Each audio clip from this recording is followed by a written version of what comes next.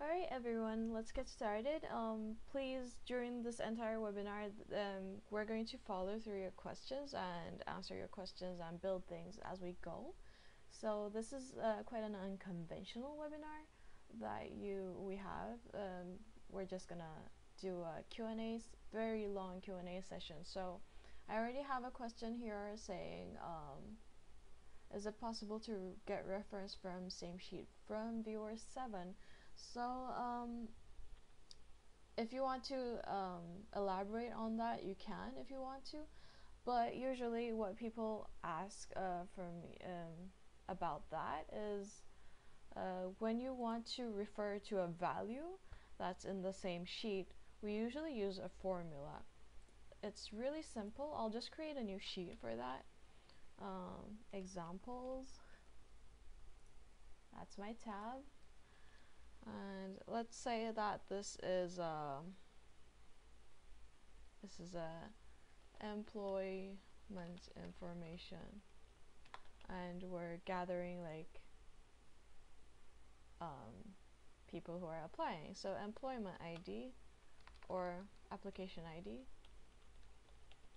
and first name last name. So a lot of cases uh, in this um, you can either refer to a field for a string value or a numerical value or some sometimes it's a date or anything else. So if it was a string value, I would just create another free text field and then from the formula you can just write the header. So in formulas we always refer to the field headers. So where I type the first name is A2 and the last name is at A3. So for the full name, I can get A2 plus an empty space uh, within two quotes and then A3. So that would get the values in A2 and A3 for me and put it in here. So this is a concatenation, but basically if you wanted to refer to the first name again, you would just write A2 instead of this whole thing. So usually it's done with formulas and there are a bunch of uh, linking options if you want to refer uh, to other sheets but if you want I can explain as well. So let's just um, create a new entry. So you can see it put a space in between John and Smith because I added that in the formula. And that's how you refer to another field's values. And if it were a calculation you can again refer to another field and add a bunch of other things if you want to. If not and if you only want that one value then you would write that field in um, the field's header number into our field like A2 um, does that make it clear? There's also another way that you can um, use. So for example, for date of birth, I kind of li like to do this. Something in formulas you want to know in Ragic is um, we don't calculate them every time the form loads. So for date of birth, that's fine because that's a constant, right? So if you had a person who was born in, let me just modify this, like 1989, I'll put my own birthday actually. So there you go.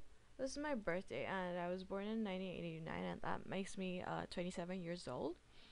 But if I had an age formula here on Ragic, um, so today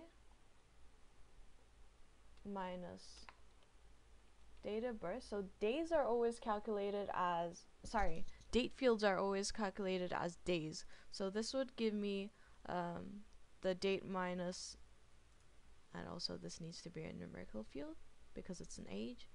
Um, this would give me um, the number of days between today and my birthday. And if I had divided that by 365.25, that would give me the number of years, which is my age, right? So I'm going to save that and it will calculate if I had just entered the value here now and save it so that makes me 27 years old. By the way, this displays a number of digits here, and if I wanted to round it up, I can just um, delete these numerical, um, the decimal points. So that is what I did. There's also this format that would uh, round it up directly. You can do that too, but that wouldn't affect what's uh, saved in here. Well, anyway, if I wanted to kind of update the ages of people in my database all the time, then I would need to refresh the formula by recalculating it over here. So under the formula tab, you you'll see that you can apply this formula again uh, but that's not very efficient for my age. So if you don't really want to keep this information in your database because it might be unrelated, it might be something that needs to be loaded each time or changing each time a calculation is added, um, then I would actually add the formula in a static text field. So uh, the thing you want to know about this is um, it's actually um, not really stored in your database. So it will refresh each time, but it, the value is not stored in your database. So I'm just going to copy this formula and add it here. Um, so we use a BB code for this formula and then write the formula. Oh no, that's the other thing in my clipboard. Um, okay, I'll just write it again. So today minus A7 and then divided by 365.25 and then I probably want to round this up because I can't really uh, change the formatting in this one. So this is another way to refer to your other fields, but as I said, this is not stored in the database. So the age would be calculated each time I add change something but I wouldn't need to like um, I wouldn't need to like save the data at all. Alright so if you have like a lot of um, calculations that's um, and it's gonna change every time you can use that method. Let me just copy paste this to user 2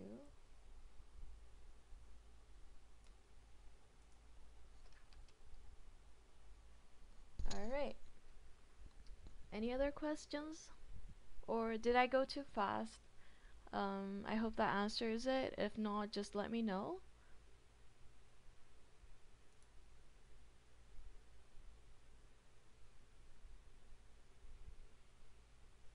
So, uh, since this formula is here, um, I can also like add strings in front of the BB code. And it will just show it as a string and then calculate my formula later. So that's uh, another advantage that you can um, use this method for. But again, if you need the values in, I refer it to in another field, I mean, you can always, um, you'll pretty much have to have those as field values. Uh, Alessandro, thank you for that question. Um, we do have a list of formulas you can look up. I'll walk you through how to get there. So when you hover on Learn Ragic, you can see the user guide over here. And if you click on the user guide, we do have a list of formulas over here. And the formula um, documentation is really detailed, but um, you can have a look at the list of supported formulas. We do have some details about some of them later. Um, so it's kind of like this. And, well, there are a long list. And if you find that you need a formula that is not supported, maybe there's a workaround or we might be able to implement it. So if you need something like that, please don't hesitate to let us know through support. Um, viewer 7 is saying, can we create dynamic drop down from same sheet? Hmm, let's think about that. Actually, let me try something because I'm not sure if this one, um, there is a new feature that I actually haven't tried for the same sheet, so let's try that. Let's try link and load, employment information. Let's say this person was referred by someone else, so another applicant, and then first name and last name. Okay, I think this does work. Uh, save. So this can refer to any other applicant in the same sheet. Um, but you want a dynamic drop down. So, well, that actually might work for this case. So let's say A2 Betty, um, let's make up a last name for Betty Doe. Okay. And, I don't know, let's say she was born in 83 and she was referred by John Smith. So you can use this uh, from link and load. Again, let me go through that. So from Change Design, Sheet Linking Tools. If you click on Sheet Linking Tools, you you can link and load the same sheet. So that's what I did. You um, select your tabs over here, and you can see your sheets under the tabs over here listed if you have a lot of sheets. And then you can select the same sheet and go through there. You can also link um, new sets of the same sheet. Um, but I mean, um, this structure isn't really necessary in most cases. Um, for this case, I mean, if someone is applying for a job, I mean, you can say referred by, and it can be blank in some cases as well.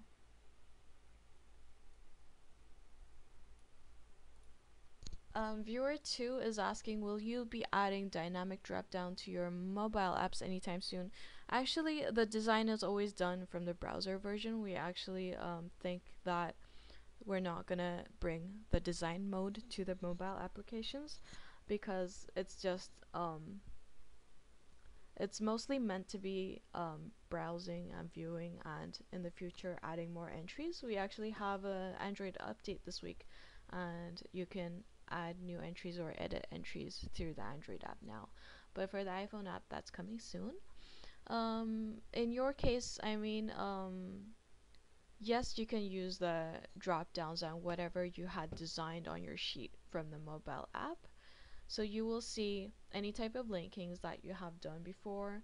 Um, if you're using the iOS app, you'll probably only be able to browse your entries right now if you're using the Android app, you should be able to um, create new entries. Um, which app are you using? Viewer 2 is saying it doesn't work that way right now, so we're trying to solve that. iPhone and iPad. Yeah, as I said, the iOS app is uh, lagging behind the um, Android right now, so it's only browse um, if I'm correct, it should be browse only, so you can see your previous entries. You cannot create or edit new entries, and you should be able to save some of the forms if you want um, to view them offline, I believe. So uh, the functionality for creating new entries is coming up, so I estimate that to be in the next quarter. Uh, so during the fall, it should be implemented in the iOS. So our developers are currently working on that and uh, it should be soon. But um, for iOS you can always use the mobile browser so that could work for you. Yeah, so the dynamic filter, I mean, we do have a linking type for that. Um, you can read all about it in our user guide um, and we can go through the design process here but that's uh, designed through uh, the browser and your client should be able to limit his choices in the future while entering his entries but that's only after we get the functionality to create or edit entries onto the iOS app. So there's um, that timeline is probably after like uh, during the fall or after the fall I'm not sure about the exact timeline but it should be well what I heard is the next quarter. Um, Alessandro is saying he would like to report what appears to him as a glitch in multiple choice lists. You have I think um, we talked about it and um,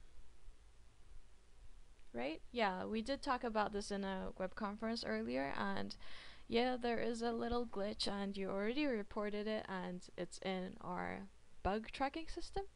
So yeah, don't worry, I'll update you accordingly when I get updates from there. I'm still working on a workaround, but I believe if we fix that bug, it's gonna be easier for you in the, the design because otherwise it's gonna get your design way too complicated. So Alessandro's problem was that um, he wanted to refer to um, kind of like what we did here, but he wanted to refer to a multiple selection field. So our problem was, um, let's say skills for this employee, alright? So if we had multiple selection fields like um, uh, um, related bachelor's degree, bachelor's degree and I'm just assuming that someone in the HR department is looking at this so I'm just gonna make something else up.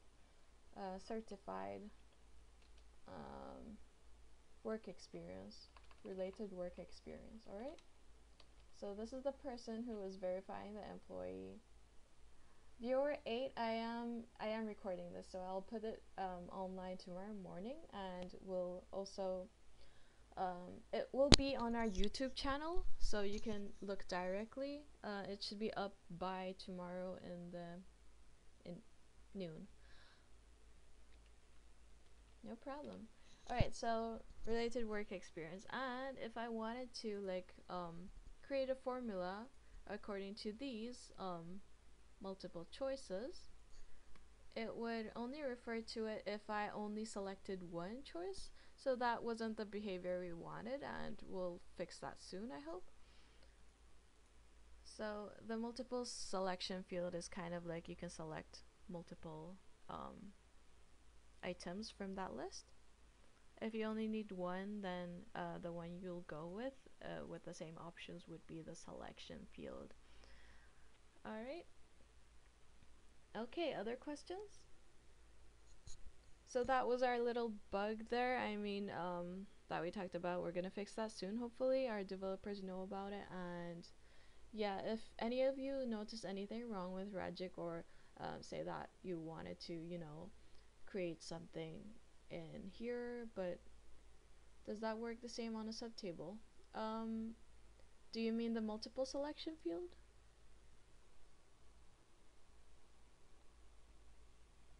Yeah, it does actually. I mean, um, all fields work pretty much the same in subtables. I think some people um, do not know what a subtable is, so I'll go through that very quickly. So a subtable is when, um, let's say that for this employment information, I actually like this example. I wanted to like um, create a subtable with their previous work experience, alright? Previous work experience. So this is the header I'm putting and it's not really, um, you don't really have to use these, but I kind of like to separate, visually separate, um, like fields from each other sometimes. Alright, I'm gonna add a free text field saying like company uh, start year and that's gonna be my date field but I'm just gonna use the year format. And year.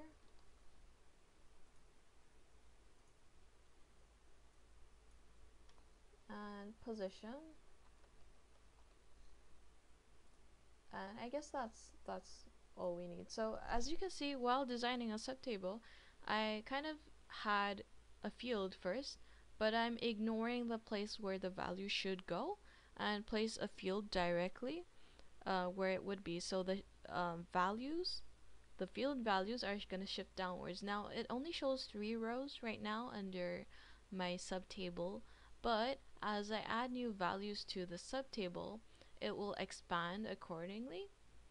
So when you refer to any field within a subtable again in Ragic, whenever we refer with a formula to a field, it's always gonna refer to the field header. So when you use a formula for a subtable, um, then you should refer to the field header. Um, it doesn't matter if it shifts downwards the value Viewer 2, is there a way to not make the fields run all the way across the screen? I have a subtable with over 25 fields in it. Um, well, okay, so for your other question, I'm going to return back to that, but um, a subtable can only be horizontal right now. I mean, there is there are ways to like have separate subtables for things, but if it's all in the same category, yeah, it does make sense to have um, 25 fields. But I mean, we don't have a break or something like Excel that holds one or two fields and then you can scroll to the right. I mean, we don't really have that. So by the way, as I like add new fields, it's gonna expand as you can see. So that's how subtables work for users who are new to Ragic. Um, yeah, about your question, the subtable, if you have a lot of like rows in it, it's not really possible to break it up, unfortunately, because if you break it up, it will register as another subtable, and that's not really the behavior you might want. Um, but you can have it as a linked sheet. I don't know if that works with your use case. If you want to give your use case as an example, we can go from there. But usually you don't really have to have that much information. So if I wanted, for example, um, let me just type um, you need to have everything on one sheet. Okay, yeah, that's um, unfortunately probably the best way to have the data in. I mean, I don't have a way of like pausing these three fields and then having the rest of the fields that go here um, and scroll. I think, um, did we talk about your app before? If it's a patient pet information sheet, I do remember that case. Yeah, owner pet. Um, so I guess the information sheet has a subtable about the pet information under the owners, right? I think we talked about the linking you don't really have to display everything um, but if you really want to then yeah that's the only um, solution right now if you only want to um, display some choice things I mean I, I remember that okay so for viewers 2 two's case viewer two's case um, if I remember correctly and if it's the correct person I have been talking to this case was having a database with um, okay, so it's for a veterinarian, and they have a lot of patients uh, who are actually pets because it's a vet, and uh, the pets have their owners. But he wants to keep the owner's information in one sheet, and then one owner can have several pets. So the pets are in a subtable, but this subtable is linked from another sheet, which keeps the pet information. So the way to do that, I'll just quickly make a mockup for other people to be able to see it um, vets, owners. So I'll go owner ID, full name. I don't want to select the user. So as you can see, Ragic grabs like field types according to what you type, but it might not be always accurate. So you can kind of like select the one you want. I'm gonna go with auto generate because I don't really want to write an ID for everyone. So Ragic will generate a number for me with the prefix O and the full name. Okay, so that's one sheet. I'm just gonna go very simple. So John Smith is a pet owner here. And then Jane Doe is also a pet owner. Okay. And we have another sheet with pets. Alright, so I'm gonna go with pet ID. And well, usually if you're using something for a key field, it's best if you stick with that. So if, if it's unique, for example, for a pet, it might be a chip number. If not all pets have chips, then that's not going to be very feasible. So you can use um, a pet ID that you generate yourself, like I'm going to do. But in no circumstances, I really say this all the time, but rarely people listen to me. Please, please, please do not use names. So we might get a snowball or a fluffy, and then we get a second fluffy, and then the data gets all mixed. And we really don't want to name the pets fluffy 1, fluffy 2. Alright? So the same goes with people. If we have one John Smith, we can have two John Smiths or like 10 John Smiths. and then how are you gonna um, tell them apart it gets really confusing so it's best if you always have a unique id um, for people this can be if you have that information the social security number something like an employee id or if you're comfortable with them all being like one person who does not like share phones or email addresses you can use a unique email address to make sure that everything registered in your database is unique. If you're using something like that you can check this unique box. It prevents other entries with the same id to be saved in your database. All right sorry for um, that little tidbit but um, this is a case I see all the time and please use something unique in the first field. Um, okay, pet name. And then we want to link the owner to this pet. Um, in the meantime, viewer 2 is giving more information.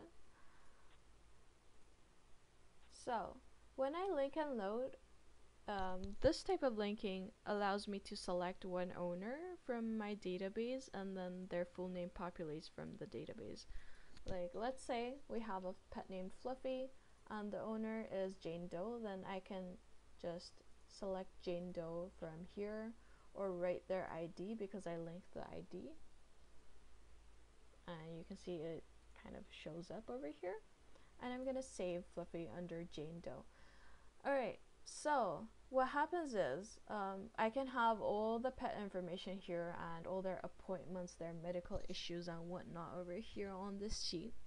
But I want to also list Jane's, um, I don't know, Tucker, her other pet, um, under Jane Doe. Um, okay, so let's say she has two pets in our system. Back to owners, I want to list each pet Jane Doe owns over here in a subtable. So what I do is I go to sheet linking tools and this is available because I just used linked and link and load on the pet sheet to link Jane and uh, Jane Doe. I mean the owner ID, which is what I linked. But in our example, we're using the link and load on the other sheet. So here I can show the references from existing sheets, which means that I already have a link uh, between owners and pets on my other sheet. So I'm going to show um, the pets related under this sheet. So I'm going to select my pets sheet over here and drag and drop the linked subtable. Um, pet ID and the full name I already have on my owner. So the pets that Jane Doe has is gonna be listed here under her pets. So um, viewer 2's problem is they have a lot of information about pets and uh, it's gonna be you know like they're saying it's 25 columns so that's a lot I mean I usually just list things because you can change the columns that are shown over here so you can see that I already linked the pets as a reference subtable here. So I have it under um, my sheet linking tools. So it's already linked and if I click on the pet's name, um, you probably have a lot of selected fields under here. I only have two. Um, you can kind of remove the fields that are not needed, but you're saying, you know, they fill in all the information and it was too confusing for them to enter data into sh two sheets. Well, I mean, I really don't have a solution for having too many fields here, but you can always, you know, decrease the fields that they don't need at a glance. There's also this method to, if I click on the gear icon here, um, you can create a link on this field. So what this does is I'm gonna make the pet ID go to the related pet, alright? So I'm gonna save this pet, pet ID um, link so from the gear icon, because I already have this link, right? I click on the gear and the link is on my pet ID, but I can also make it the pet name. It's your choice. And I already saved that. And also you can create um, a button to say create new pet record under this owner. I mean, this is way too long, but you can um, get creative and make that shorter and I'll show you what that does. So if I change the design like this, it's gonna show me that button I just created and if I click this, it's gonna create a pet and it's already gonna select Jane Doe. See that that's what the action button does. And well you can see that this became a link after I create um, after I selected that button that links um, the field that links um, my pets. So if I click on this link it will take me to Fluffy's record directly. So these are two things that you can do to um, kind of make it easier for the vet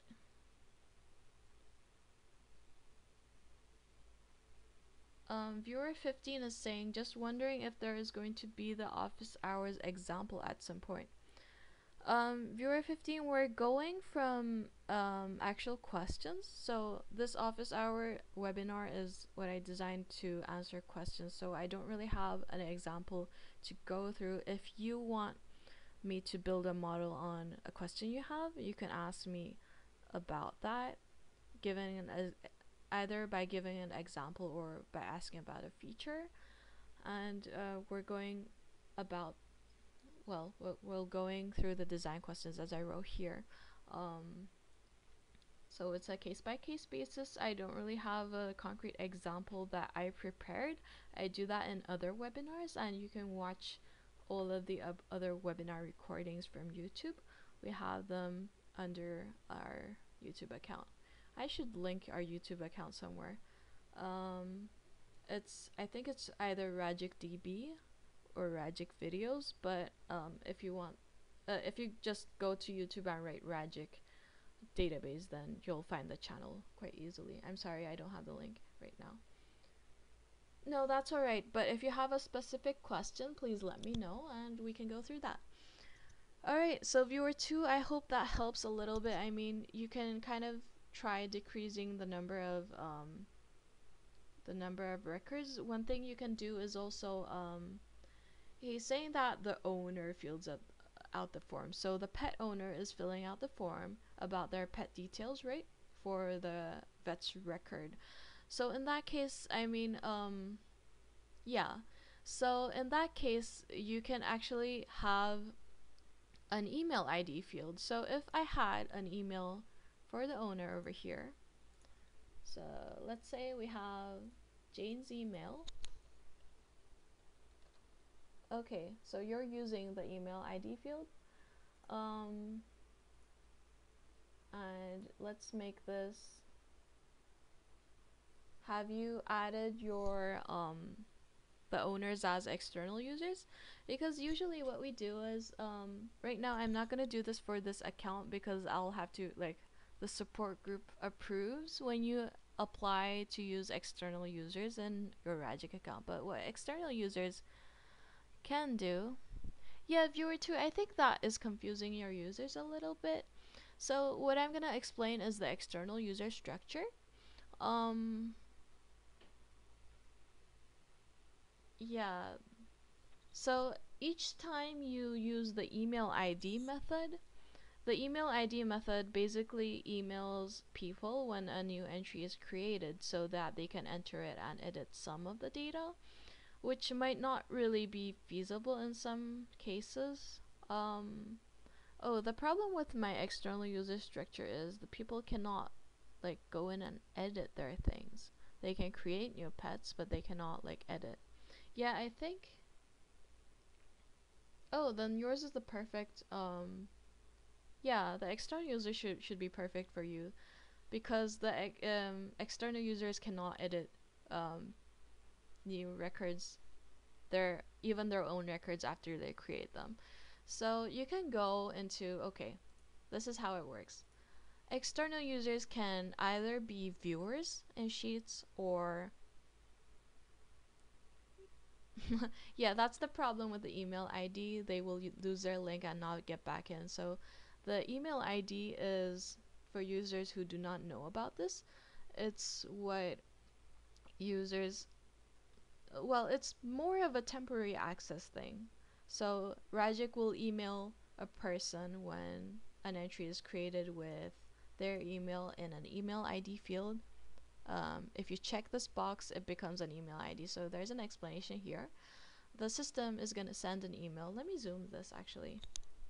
Hold on a second.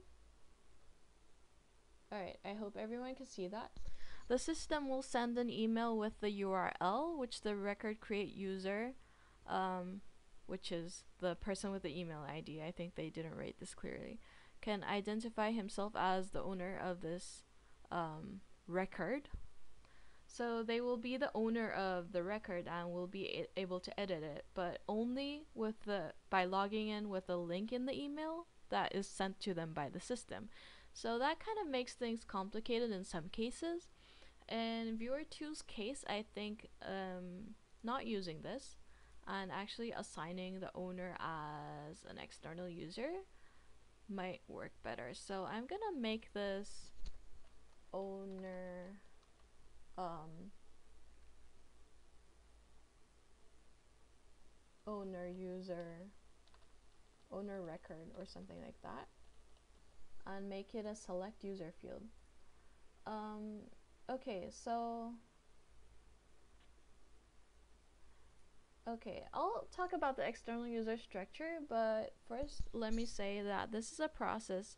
When when you apply to an external user in Ragic you'll need to actually go through we need to go through an actual process to verify who owns the account like which company and see who owns the account and uh, because the problem with the external user is um, we kind of need to see if an external user is actually an external user or not. So you can apply from start account setup. Oh, I didn't save the design. Hold on. Okay. So start account setup and you'll see the external users over here under users. So right now, I just opened this account today and I don't have external users enabled. And let me zoom out for a second. Um, Alright, so you can add an unlimited number once your external user application is approved. So you can kind of describe your use case. So for our examples case, I kind of say that um, this is a vet veterinarian system. I want my external users to register their pets. Pets, but not be able to edit them later on. And you can just, uh, you know, say how many there will probably be 200 users or so. It's just ballparking, alright? And then you submit your request. So that goes to our support system and uh, we actually manually see what is written. Sometimes um, people do not write their company um, address and we have to have a look at who they're actually registering as external users. Um, anyway, um, Okay, so I'm gonna approve this request just to show you how the external user structure um, works. I'm gonna pause my screen for this reason, so hold on a second because I actually um, I'm not supposed to show you the ticketing system we have. Alright. Any questions so far? That's our external user application system, so it's in our account setup. I'm gonna approve this in a in the backend for my support system, so I am not allowed to show you that.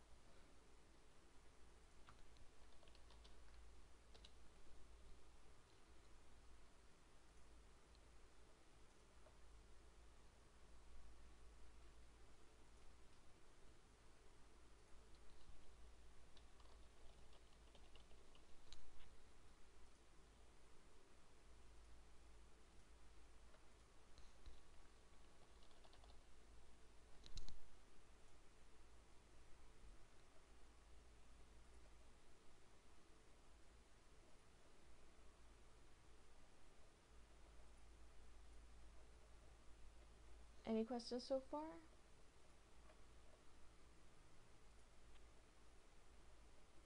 No, I actually just turned it off, Alessandro. If you are listening, um, I I applied for external users for my demo account because let me just get it back. Actually, it was approved. Um, so I was like, um, that's alright. I know it's late over there, right?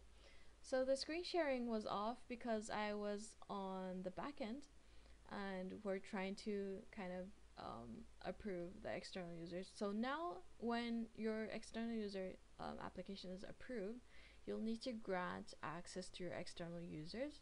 So there is an X user default external user group, but you can have more user groups for external users. We'll touch on that in a bit. Alright, so I don't want my external users to be able to see the employment information. So uh, I'll say no rights for that. They'll be able to view their own owner record, in my case, and then they should be able to create new pets under their own user, alright? So that's a survey user. And I'm gonna save that. And as you can see, I don't have any external users right now, so I'm gonna add one. Uh, does anyone know a good free email inbox service? Wait, I'll find that in a bit actually. Let's Google it. Um, sp spam inbox to use temporarily.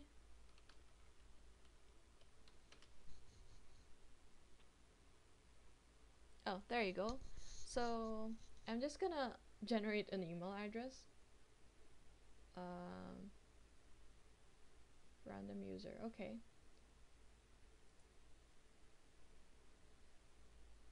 Okay, so this is my email address now.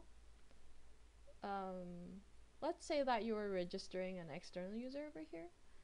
So the email is this, and the full name, let's say, is um, let's say this was Jane Doe, alright? And she's gonna be an external user in here, and these are not required. The required ones have little stars on them next to here, and this one is generated by the system. And I'm gonna save that. So basically, Jane Doe is an external user right now.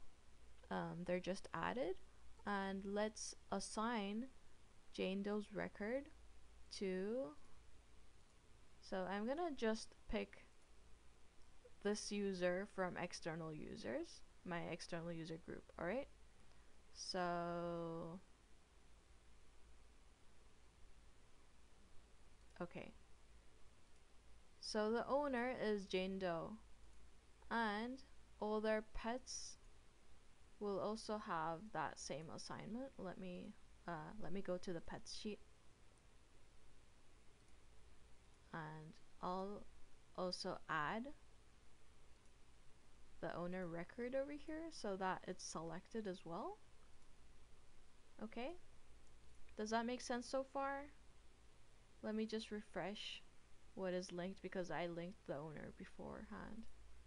So not that. Okay, so what this does is it kind of refreshes all the things that were supposed to be loaded when I select the owner ID. So I'm going to synchronize this set of linked fields with the updated source value. This happens because I, I linked this after the fact that I like linked this part. So the owner ID and full name were linked before, but the owner record I just added so it, it cannot load something that was not selected. So I kind of reloaded the whole thing. Does that make sense? Am I going too fast? Just let me know if I'm going too fast, alright? So, okay, uh, an owner is selected for a pet, okay? and for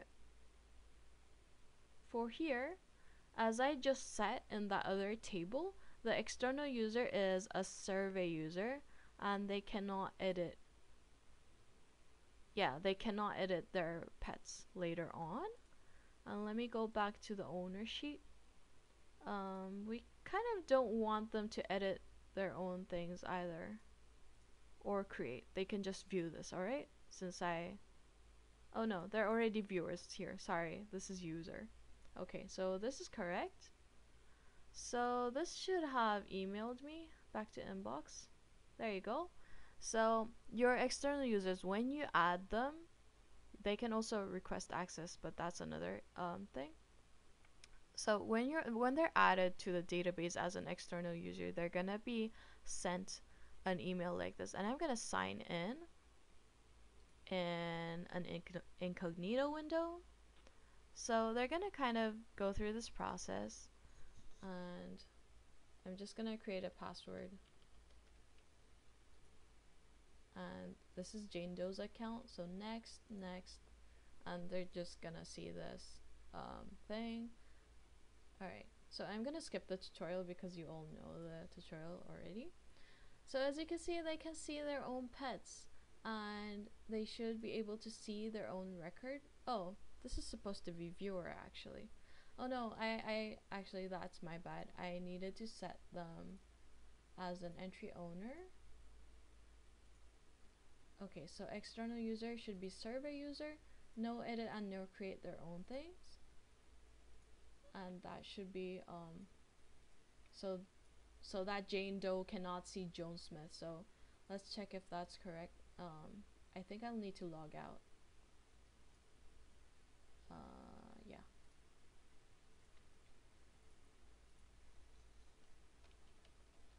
So let's log back in. What?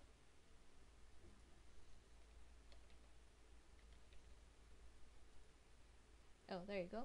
Okay, so owners. Uh, sorry about that. I'm not sure why I cannot see this now. Okay, so this is the entry manager. And then they should be able to view their own records. Right? Yeah. I should be correct now.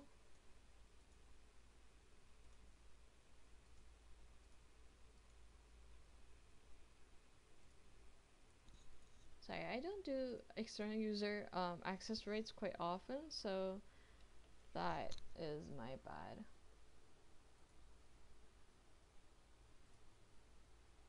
So right now they can see their own pets. They can create new pets. But they should be able to see their own record, so what's wrong here?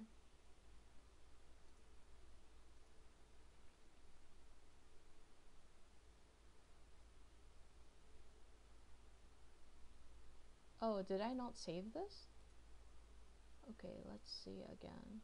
Form settings, access rights. External users are survey users, so they can create and edit own entries. Oh wait, no. Then of course they're not gonna see. Um,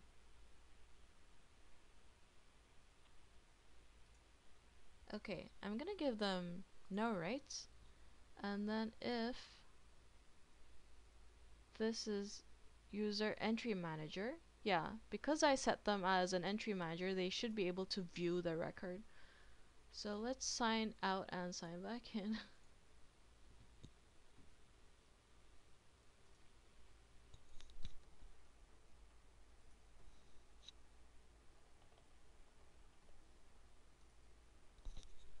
Okay Oh. Did the no rights thing...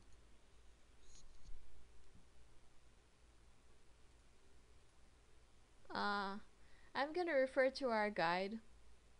Sorry guys. Let's see. So, assigning entries. Assigning for different access rates. Okay, yeah. It's supposed to be set to it's supposed to be set to a survey user so they can actually see the entry and I assign it by clicking that, you know, set as entry manager. Okay, so what did it say again? Um, it should be uh, survey users and they shouldn't be able to edit or create, but the field settings should say it's an entry manager. Wasn't this the way it was set the first time around? Hmm, let me just refresh that. Uh, I'm wondering if this is a bug or something. Or I'm just not doing it correctly. I can ask our developers. Oh, there you go. but they should be able to see their own entry. Let's see if I create one. Another pet, can I see the owner? No, I cannot. Alright, so that's to be explored. Um, right now, I think I said it correctly, but it's not working for some reason. Um, the form settings look correct. So the external user is a survey user. Um, and they're assigned as the owner of the entry over here yeah, they're the entry manager. So let's see if it's actually an entry manager over here. If I click on the information here, you can see all the entry managers and they're not added. So I think that's a system problem. I will report this immediately and see why it doesn't work. Um, but it should normally. Um, this is actually, it seems like a bug. But um, viewer 2 to go back to your question. So normally if I added them as view only to this and then pet survey user, they should be able to see their own pets over here and they won't be able to edit it and they should be able to add new pets. Does that answer your question? And I, pretty much am sure that the access rights um, error can be fixed easily on our end, so that should be soon. Alright, any other questions? We have about half an hour left and we can go through another use case. I usually don't really, I actually have to do an external user video. What does checking the hidden box do? It actually hides it from your um, database sheet. So if I didn't want to show the owner record um, or pet name, well, why would I do that? But if I had something like outstanding balance, uh, and it's a numeric field and whatnot, and you have monetary values, um, then you can hide the field entirely from this version. So what that does is it doesn't really um, help in while you're designing your first forms but sometimes it's useful because um, it actually the field is still there in the design it's just not visible right? So if you wanted to refer to that one field with a formula but don't really want to see that one field or actually not let your users see that one field then it's really useful. This is mostly used in cases where you have more than one version of the same sheet so the multiple versions are usually used for um, having different copies of the same sheet. So they use the same source. Um, so for example, I can have the pet medical information on one sheet and on the other other sheet I can have uh, the pets like related um, insurance and you know payment information or the financial information of um, well, your veterinarian practice of about one pet. Okay, so that's how multiple versions are used and they can be created from here change design, sheet linking tools, multiple versions. So that will create the exact same sheet, but you can have different fields on the two different versions. So what you can do is you can remove some of the fields if they are confidential, uh, that you're actually showing the owner, and on your own financial copy you can see all the you know all the more uh, detailed information like the tax amount or maybe the markup you put.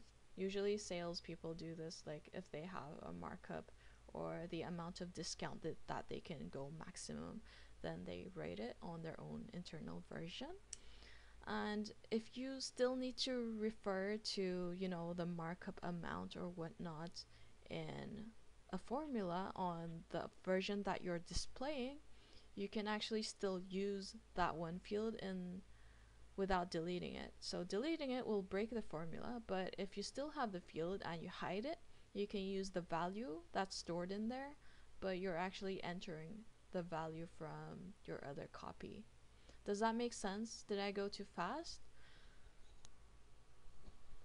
Let me get a sip of coffee while you're answering.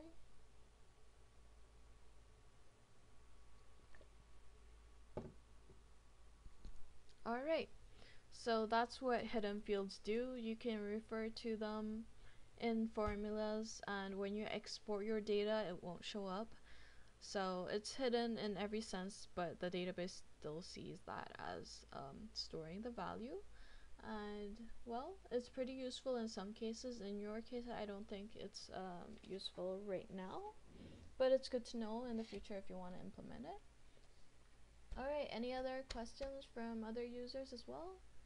Whoever joined in i mean let me remind you that this is a webinar but i'm not presenting uh, preset things. You can ask any question you want. I'll just get this sidebar back here you can ask me any question you want and we can create prototypes accordingly if necessary. Viewer 2 is saying you want to create a pet ID combining the pet name with owner last name but don't want them messing with the field. Okay, well the pet ID, I mean the one I put is auto-generated and let me make another one here instead of like messing up this one but if you wanted a combination of that pet name, which is A2, you can do it like a formula. Well, it's okay, I can answer it again. Combine with the owner name A4 with a, you know, um,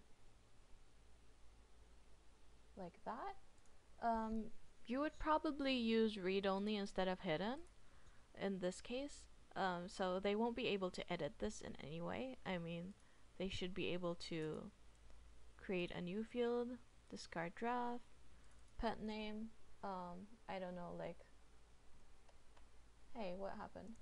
Did I refer to the wrong field? Sorry, pet name is A2.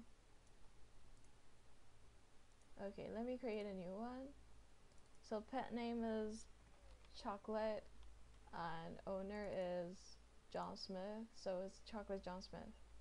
Alright, but again, I usually do not like using names or anything um, because there might be five John Smiths and they all own fluffies, so you might want to change the ID or add another number that it will concatenate with. Okay. Hope that helps. Anyone else? Any other questions or like things you wanted to build but not sure how to? Come on I really like challenges and interesting use cases.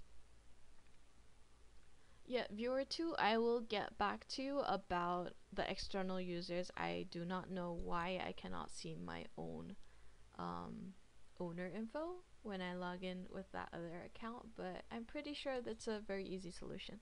So I'll get back to you. I remember who you are. Anyone else? Questions?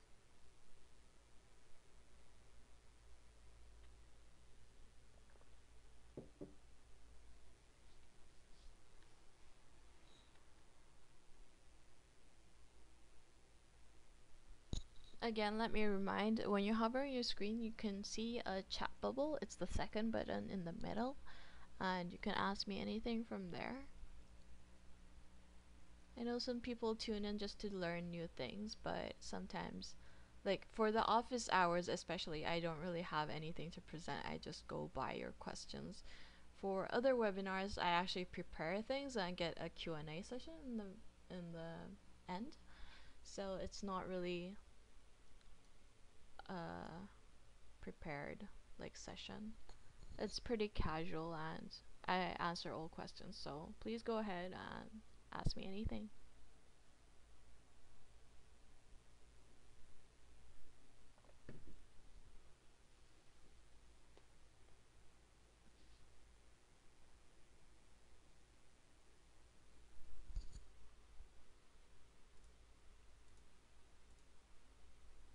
So the owner record is linked, but why didn't it populate this time? Oh, because I don't actually have that external user. Okay. I was wondering why this field is empty. I have bad um Alessandro is asking, can you elaborate about the language translation? Um, read only does not cause any linking problems, um, viewer 2. Um, the language translation is, yeah, it is a manual feature and, well, it's quite new, so it has a lot of room for improvement. Um, right now, because we do not offer support in most other languages, we only do offer in English and Chinese. The Chinese is because we actually started Ragic in Chinese. That's a very long story, but our company is shortly in Taiwan, and um, they started with the Chinese version, and after our team grew more into like bilingual speakers, like English and Chinese speakers, then we decided we can implement an English version. And now we do have an English version, but I mean, some of us are multilingual. I actually speak four languages, but I do not feel comfortable giving support in all four languages. And uh, for example, I'm pretty fluent in Turkish, but nobody else from the team speaks Turkish. Um, so like the problem is, oh, we cannot give support in. I think you you were asking for Spanish or Italian. I don't remember. Um, but we have a lot of users asking for Spanish, but um, like the problem is we cannot offer support in that language. So our solution was because a lot of users were asking us to have a translation feature to use on their own and there there were people who offered to do translation for us. I mean that's very nice. That's very fine. It's a feature we want. We actually want Ragic in different languages. But the problem is we do not feel comfortable with doing that because if we implement that and you can switch the language from here, then you'll probably expect us to give support or any other user can expect us to give support in that one language. I mean all those other languages. So I mean, it's not very easy to do. So we did implement the translation feature within an account so that people can actually do what they want and translate uh, Ragic to their own language, but we do not um, do user support for the language itself right now. So for users who are curious, you can go to the star and account setup and hidden there somewhere is UI translations here on the left side. So if you're speaking another language, you can choose that one language and in your account, all the other users will be able to see these changes.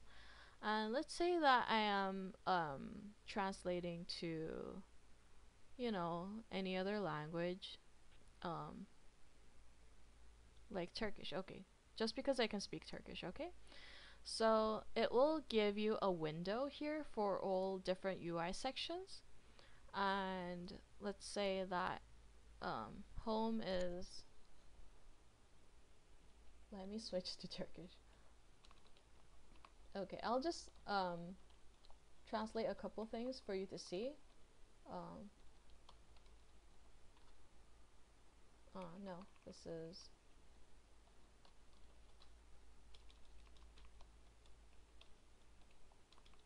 Okay, so once you do some translations and save, you'll be able to see that the UI uh, over here, so the my start homepage and I think yeah, the homepage has been translated. You'll be able to see that option under your languages. And then um, as you um, translate more sections, then you'll be able to see the UI in that language. Uh, otherwise, they'll all be shown in the default, whether it was English or Chinese in the first place. Um, yeah, so that's our translation feature, and if in the future people want it, we can manually kind of, if for example you have a friend that wants to, you know, open an account again in the same language, and they know about it because of you, because it's a referral, then we can like manually move your language settings to their their account as well. But right now, that's the extent of um, our translation feature. So it's quite new, and if you have any suggestions, please write to us about any feedback. I mean, in the future, if this expands and we see a lot of people doing translations, then we might um, allow people to download a user created language package kind of like what Facebook did. I mean, this was my suggestion. Um, if you remember the early days of Facebook, uh, users were able to create or edit translations that were there. So it was um, some languages were still in beta testing, and um, well, it was mostly community translated. So that's very helpful. But again, I mean that's um, a a problem of support mostly for us because if we offer uh, Ragic in different languages, then they're gonna expect um, us to give support in those other languages. I hope that makes it clear. And um, again, from viewer two, we have questions. So he's asking, can you show me a formula for the date field that gives an alarm or message when it's a year or two years after the date? Actually, we have a feature for that. So if it's for vaccinations, right? uh, okay. So let's say your pet needs to get um, vaccinated every two years, right? Um, about when, whatever, like first XYZ vaccination date. Ah, uh, this is still Turkish. Okay. Okay. So let's say you have a date here and then you already have a value in that date because your pet was there. Okay, today your pet went to the vet and then they get vaccinated and you kind of need to notify um, the user um, to get their pet, pet vaccinated again. So here you have a few options. So you kind of have something in here, form settings, reminder. So you can choose a date over here and if I set 365 days after and like get vaccinated or something um, remind um, let's say you had the owner email as well and then you select that one field um, right now I don't have it but I hope you know what I mean. So it needs to be an email field. Or if you select created by, it will um, it will notify whoever created that one record. And you can add the reminder. Okay? So first vaccination follow-up or whatever. So it's always set by days and you have to pick an existing date field um, with values in it or are going to be have values. So whatever you put in here, it will send a reminder 365 days after. Uh, so this is one setting, but the system messages you in this reminder. So I think we have an example. Um, let's see. Learn Ragic. No, let me save this first. So if I go to our learn page and say reminder. Um, I think I have an example here. Yeah, so this is how your reminder is displayed. So this is a sale order thing. Um, so this emails the user directly with all the information in their form. And it's sent by Ragic. So you can't really customize the content of the email, which might be a problem for you. Um, so um, there's also a way to create a custom automatic email notification. You can also find the guide over here. I'll also paste this um, paste this in the chat right now.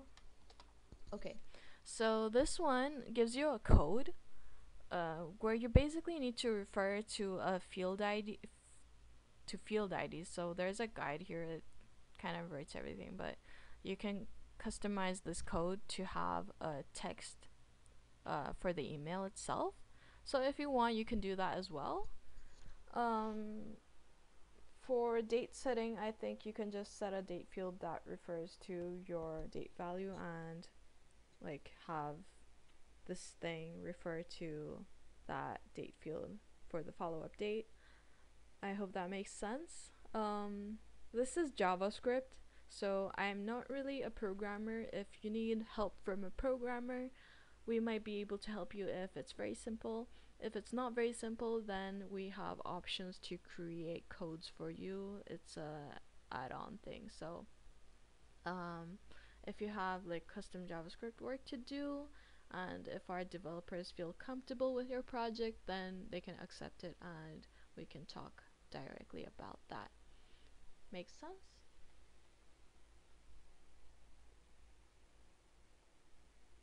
HTML, well, yeah, I think so too, but, um, oh, thank you. Alright, so viewer 2 is saying that HTML is easier, but JavaScript works, and, well, all the compliments, thank you. Um, yeah, we do try, and if you ever have feature suggestions, you know, we're always open to suggestions to make Ragic better. Alright, anyone else? Any other use cases?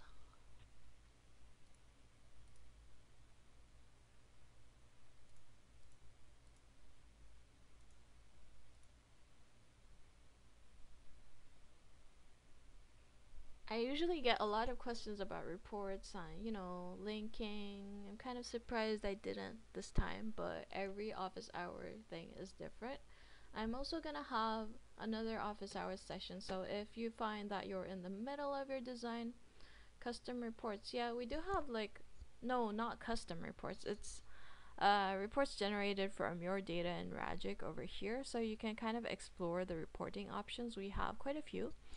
Um, well, my opinion is they're not very versatile. So if you wanted to like create, they usually require like these three and also the line graph. They require numeric fields to be there, and they kind of uh, rank or make a pivot table according to the values you have. Um, the to-do list um, takes an empty date field and you can check it off and then it will populate the date with that. Yes, these are the only reports available right now in Ragic, so if you have like something um, that you want to create, it probably can be done with exporting your data. So if you really want something custom like you would, um, a lot of people just export and create the report itself in Excel um, for more complicated dashboards. But we also have a Zapier integration. So Zapier is um, a service that links your data from one app to other apps. And we're currently not listed in their um, in their directory because we're still in beta testing but you can still join in our beta testing. So if you go to learn Ragic over here under start learn Ragic and type Zapier in the knowledge base search you will come across how to join our Zapier integration. So Zapier again is the service to link one app to other popular apps. So it's kind of it has a lot of different um, tools uh, that have Zapier integration, kind of like Trello or other popular things. So you can create like an integration to populate from one to another. So in my example that I created here, it's it creates a new Trello card on I think on a certain Trello board if you're familiar with Trello.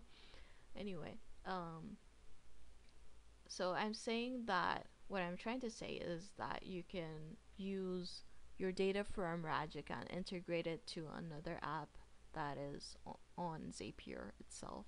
So that's also a possibility, but I mean, if you really, really need a custom report and cannot find a way to do it, um, you can ask us. Maybe we know a workaround about that, or um, it might be uh, very simple to implement and we can have a look. So, if you ever feel the need to do a report that you cannot find, just let us know and we'll try finding a way with you.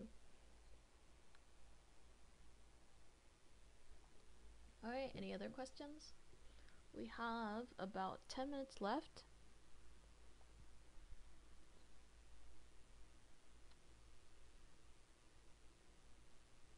Thank you. Alessandro is saying your learning guide is a great tool to know more. And uh, for other users, again, I'll go through. So if you're in your account, you should be able to see Learn Ragic when you hover on the start over here. So here, um, mostly the videos are made by me. So there are like a bunch of videos under videos here and they're all linked from our YouTube channel so if you click on one of them you you should be able to see um, you should be able to go to YouTube from there and view all our other videos. I don't link them all over here because some are not really in the learning format.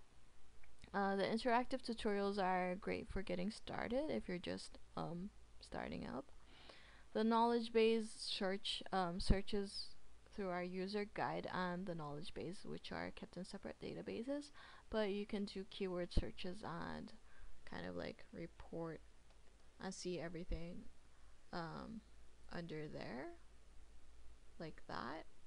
So it will open in a new tab and you can just go through. Um, and then in our user learning Ragic thing, you can also find our user guide, which I had opened earlier. This is a presentation um, for Teams.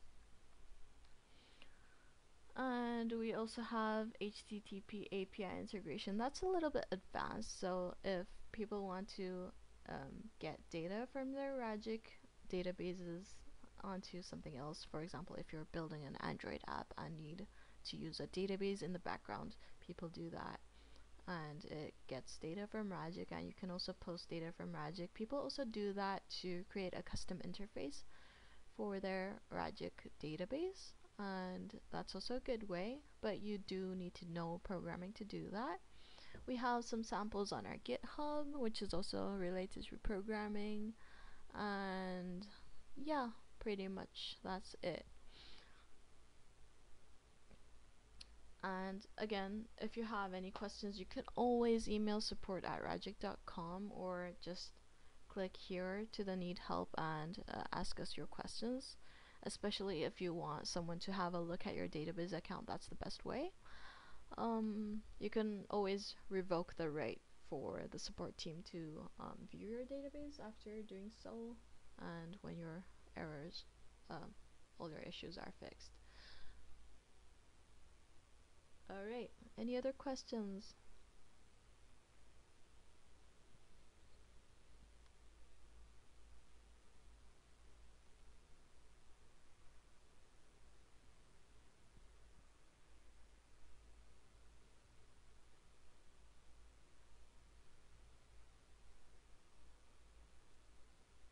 Alright, I'll be here for the next 10 minutes if anyone has any questions otherwise thank you all for joining. I mean um, this has been really great and i think that mm, it gave me some insight on creating some user guides about the external users. I mean we do have them in the user guide but sometimes a video is more helpful so i will probably do that soon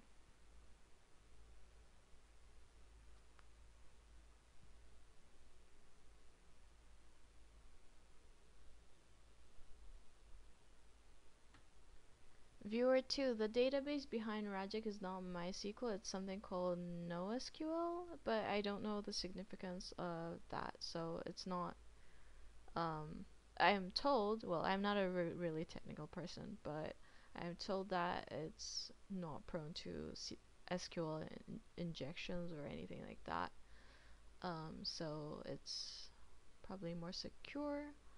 Um, I don't think it's possible to export to well I mean besides CSV you can export your entire database in Ragic's um, own formats. So we do have a backup system over here account setup. And you can back up your database. But I mean you can't you won't be able to run a, a backup that's saved from here um, anywhere else basically because it's a special format are there APIs for Ragic for other forms of other websites to input or yeah, I just told that they are there are APIs available. So you can go to our Learn Ragic page and then go to our HTTP API integration over here for more information about that. Um, I'll just link this to you. And um, yeah, so basically we do have API integration available and if you're a programmer you can you can use that to input or extract data. And again, you can also, if it's available for other websites to use from, you can also use our Zapier integration. I'll also link that actually. Zapier. Um, it's a great tool. I mean, it's not very versatile, but um, it's pretty useful for non-technical people to kind of do links for other apps. So that's also something you can consider. I hope that helps. Any other questions?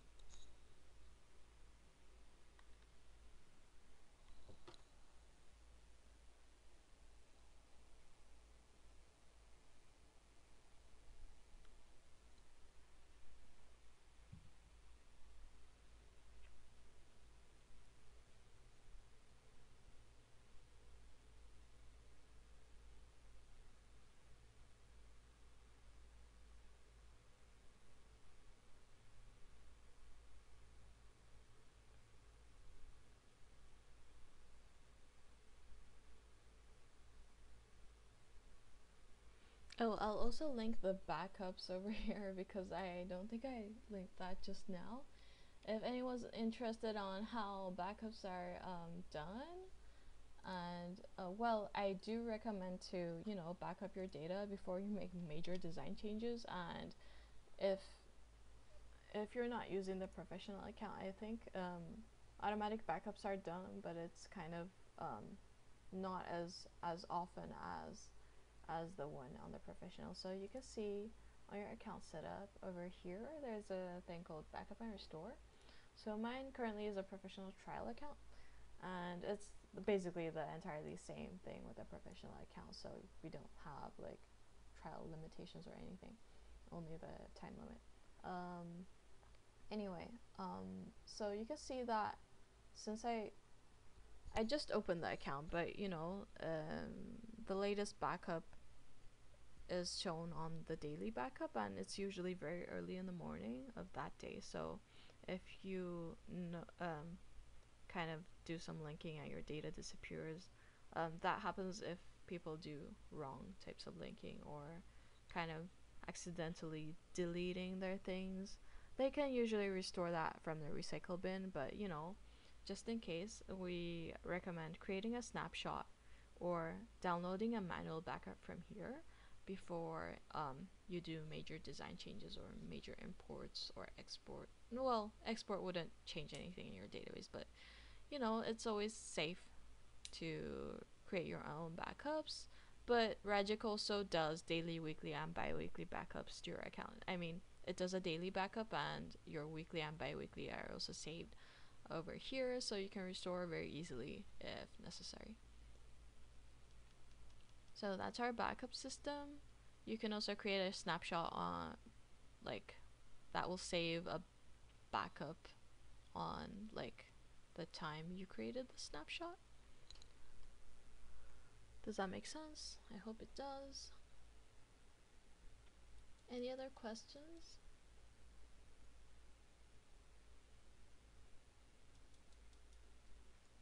Well, other users have been quite um, quite quiet today.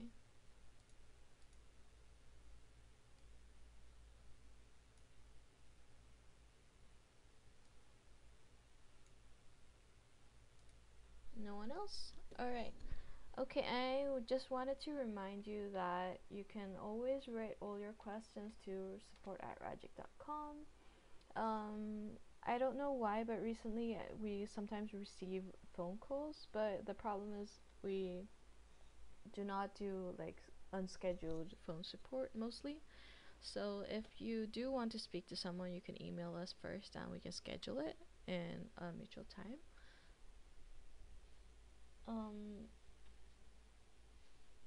because we kind of have only a small team, so it it gets hard doing phone support in good times. Right.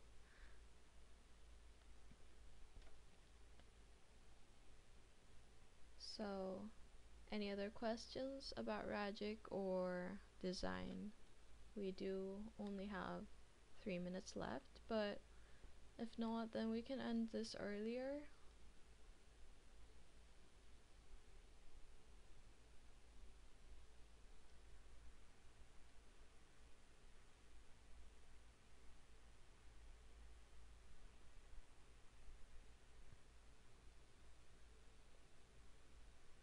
Okay, I guess we should wrap it up. I would like to remind everyone again, you can email support at ragic.com if you do have questions. And um, sometimes, if it's easier to explain by talking, then we schedule a a conference and then, you know, talk about your case specifically face to face in a web conference. Sometimes make things better, and with screen sharing, everything's easier sometimes. Alright, no problem, Alessandro. Glad you can join today.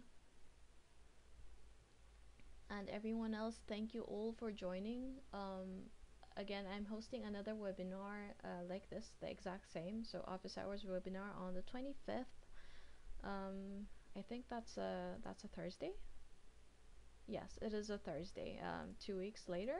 So if you find that you are in the middle of designing your database, you can join again and you know John that's alright I know it's a little bit too advanced um, if you have just started um, and well again please don't hesitate to join the next webinar and ask your own questions.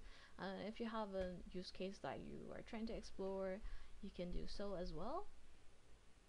I hope this helped a little bit. We do have a lot of videos again on the learn page so you can kind of go there and see for yourself um, about specific use cases. If it doesn't really fit, then you can uh, email support with um, something like I'm trying to build XYZ, and um, we can definitely point you in the right direction because we know that each company is different and they're trying to design something that's suitable for their own use and it's kind of um, all my examples over here like I'm the one doing the video so all my examples over here are like for specific things that are asked a lot but I can't really do a lot of things for um, most use cases.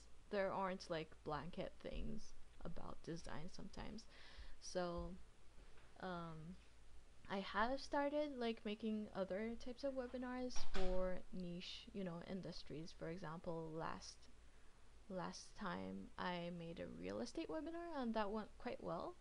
Um, if you have a industry that you're like expecting to, you're thinking that there might be other users who might find it, um, you know, interesting or it might be helpful, you can email me and I'll try creating a webinar like that um, but I really do need to study an industry before like going in and building a database about what they're doing. So yeah, feel free to do that. All right, thank you everyone. That's all the time we have. And again, thank you so much for joining and listening in. It means a lot. And well, continue experimenting. And if you have any questions, just let me know. All right, no problem. Have a great day. Bye.